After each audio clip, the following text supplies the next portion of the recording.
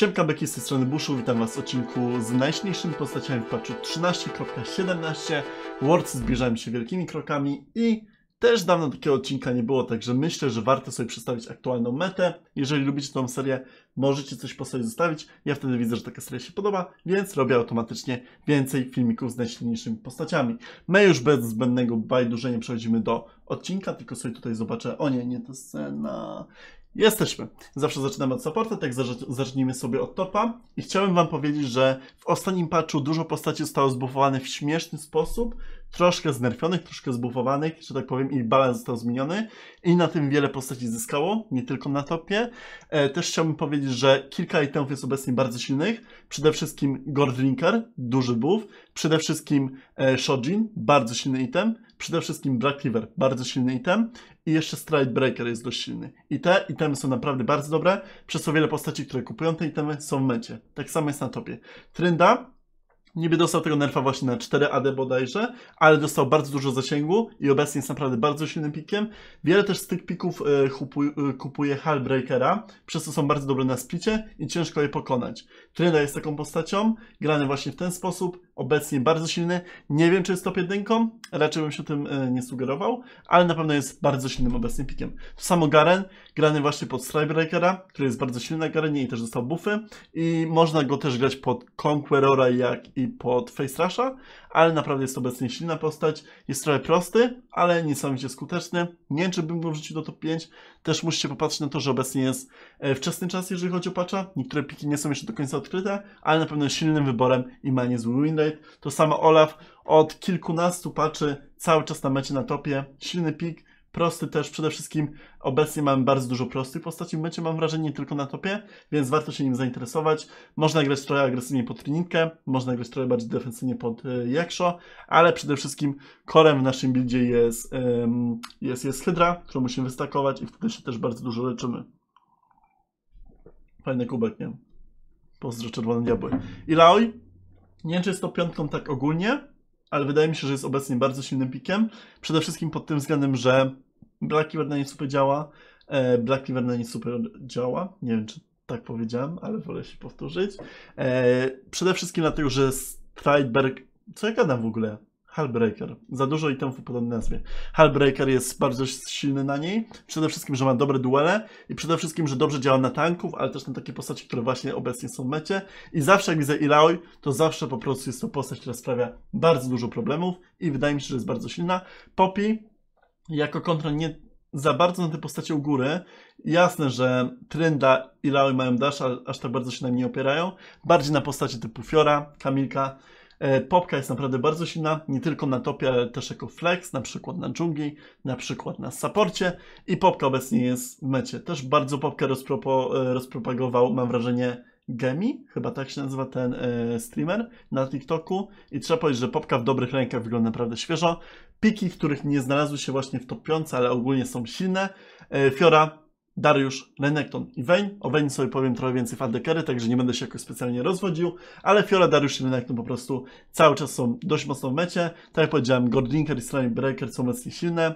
Na wielu z nich też się gra e, Black Cleavera, także te piki wyglądają teraz naprawdę mega, mega świeżo i ogólnie AD piki na topie są bardziej w cenie. Jeśli chodzi o dżunglę, tak jak Wam powiedziałem, połączenie Black Cleavera, Jaksho i Gordlinkera jest super mega broken i postacie, które grają właśnie te połączenie są mega w cenie. Pierwsze co przychodzi mi na myśl Jarvan, obecnie wygląda naprawdę mega świeżo. Gramy właśnie Gordlinkera, potem gramy Jaksho, możemy jeszcze Black jeżeli nie chcemy, to gramy bardziej w coś w tanka, ale ogólnie te trzy temy są mega świeże teraz i naprawdę cały czas mamy podrzuty, nasze umiejętności nie mają, nie mają cooldownu, cały czas jesteśmy mega, mega um, irytujące przede wszystkim, bo nie tylko jesteśmy mobilni przez to, że mamy często spele, ale też cały czas podrzucamy gości i Jarvan obecnie jest mega, mega silny, polecam go testować. To samo Kane, cały czas się leczymy, mamy cały czas spelki, podrzucamy cały czas gości. Bardziej grałem pod Strybreakera, ale też wydaje mi się, że jest cały czas w cenie. To samo Belvet, widziałem, że jest próba właśnie grania pod Strybreakera i jest mega, mega silna. Bardziej takie właśnie bruiserowe postacie. I Kha'Zix, można go grać właśnie pod ten build z Black Cleaverem i z Gordlinkerem, ale pod Assassina jest bardzo dobry, szczególnie kiedy gramy przeciwko przeciwnikom, którzy są papierowi. I tacy dżunglerzy właśnie są moim zdaniem w cenie. Oprócz tego, wszystko co gra właśnie tego Tasaka, Black Rivera, i Strybreakera jest teraz silne. Na myśl mi przychodzi Hekarim, że jest całkiem świeży i jest warty rozważenia, ale też jest, tak jak powiedziałem, wczesna faza patcha, także niektóre piki nie są odkryte, ale tak jak powiedziałem, AD piki obecnie są bardzo, bardzo w cenie. Przechodzimy do midlane'u.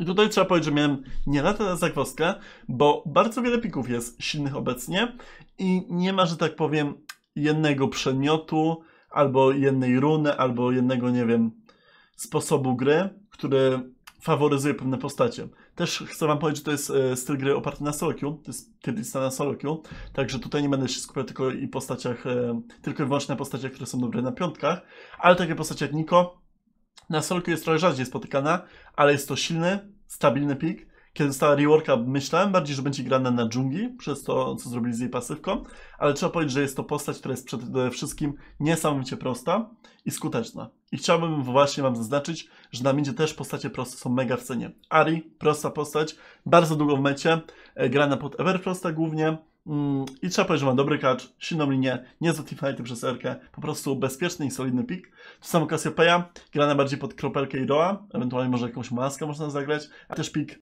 dość prosty, nie jest jakaś mega trudna, Cassiopeia nie jest też mega prosta, wydaje mi się, że z tej piątki jest to najtrudniejszy pik, ale też postać, która jest dobra przede wszystkim na postacie z daszami i w mecie zawsze trochę jest, także pik, który jest też niesamowicie dobry i kiedy potrzebuję właśnie trochę więcej DPS-a, czyli konstant obrażeń, Cassiopeia jest idealna. Na Fury postać, której nie wróżyłem jakiejś dużej przyszłości, trzeba powiedzieć, ale od kilku patrzy jest cały czas nerfiona, jest prostą postacią, z dobrym winrate'em, z wieloma obrażeniami, silnym, e, wczesnym fazą, e, silną wczesną fazą rozgrywki, więc na Fury obecnie jest też mega silna i jeżeli chodzi o AD Pick, polecam ją, ewentualnie jakiegoś Talona, może Zeda. Vex dostała dość mocne buffy, jeżeli chodzi o jej sytuację na milenie, moim zdaniem wygląda bardzo świeżo, Solidny, prosty pik, który jest dobry też na wiele dashów i moim zdaniem taką Vex można sobie opanować, bo bardzo często jest w mecie. Oprócz tego na midzie jest bardzo dużo pików. Trynda, który, tak jak wspomniałem na topie, moim zdaniem na midzie też wygląda bardzo świeżo. Talon, tak jak już wspomniałem. Eko moim zdaniem teraz jest też bardzo silny i warto go rozważyć, a także piki pokroju Sylas moim zdaniem w odpowiednich rękach mają prawo bytu. Na midzie moim zdaniem teraz można grać wszystko. Można też wyciągnąć jakiegoś Zerafa, można wyciągnąć jakąś Lux i też to wygląda całkiem spoko. Sorki, że ten głos mój jest nie taki, ale e, miałem problemy z midełkami ostatnio i cały czas nie najlepiej mi się mówi po prostu. Hashtag wymówka. E, jeśli chodzi o dekery, czasami jest tak z kurierem, że w mecie mamy tylko na przykład trzy postacie i są one najsilniejsze.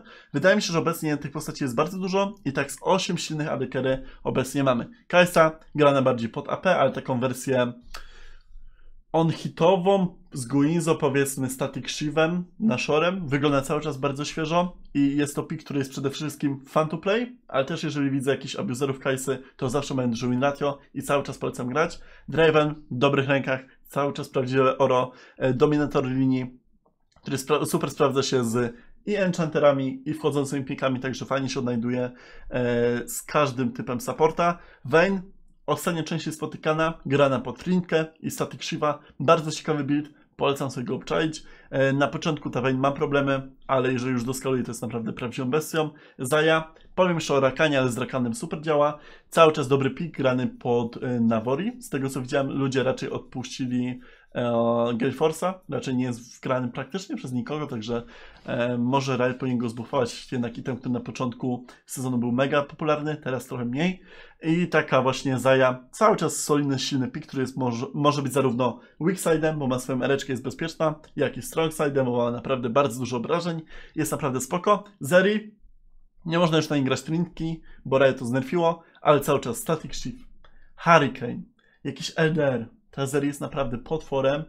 Static jest obecnie silnym itemem i właśnie takie postaci, które nie mają wave clear, jak Vayne, jak Zeri, przez to, że mogą zagrać Static Shiva, są naprawdę mega w cenie i polecam tą Zeri pograć, bo jak widziałem jakieś montaże właśnie, to bardzo łatwo na przykład zrobić jakąś pętę. Oprócz tego Ashka, cały czas mega silna i solidny pick, który nam też gwarantuje dużo utility. Naila i wydaje mi się, że Nilach jest mega dobra i wydaje mi się, że to jest hidden OP postać i polecam wam sobie zagrać Nila. Um, naprawdę silny pik, w dobrych rękach, potrafi robić niesamowite oro, specyficzny styl gry, ale wydaje mi się, że to jest postać niedoceniona, jeżeli szukacie właśnie jakiegoś postać na do tepekowania, bo ta postać w ogóle nie jest banowana. Wydaje mi się, że to jest super pick na solo queue i właśnie na dekery. I Kartus, jeżeli szukam czegoś pod AP, mamy full AD drużynę, cały czas Kartus na e, bocie potrafi robić robotę.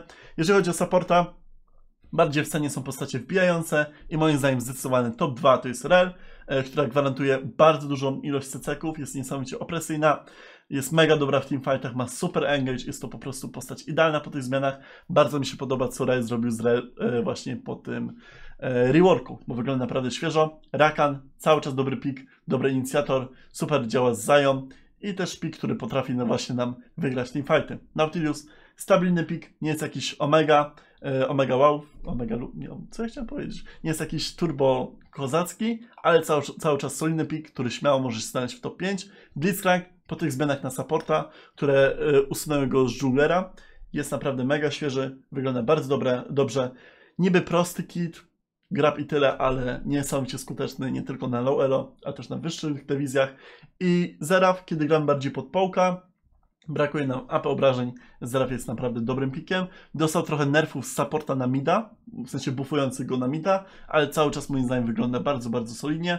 Musi uważać, bo na tego Blissa Nautiliusa gra się bardzo ciężko, także em, jeżeli czujecie się kozakami, możecie go blind tak to bym go nie polecał, ale jeżeli właśnie umiecie nim grać, albo gracie na jakichś enchanterów, co też często się zdarza, Zeraf jest naprawdę bardzo wybitny. Oprócz tego, jeżeli szukacie właśnie jakiegoś enchantera, moim zdaniem obecnie najsilniejsza jest Janna i to właśnie po nią radziłbym e, się kierować, jeżeli szukacie właśnie obecnie jakiegoś enchantera. To tyle, jeżeli chodzi o top 5 na każdą pozycję oraz wspomniałem o najsilniejszych wyborach, które e, chciałem właśnie umieścić. Właśnie jakaś Janna, e, jakiś e, Sylas, jakiś Eko, który nie wspomniałem, a także i temat, które są obecnie w mecie. Sorki za głos i za dykcję, ale tak jak powiedziałem, z tymi migdałkami jeszcze nie jest u mnie najlepiej. A jeżeli się podobają Wam te odcinki, to możecie coś po sobie zostawić. Trzymajcie się, miłego dzionka i elo!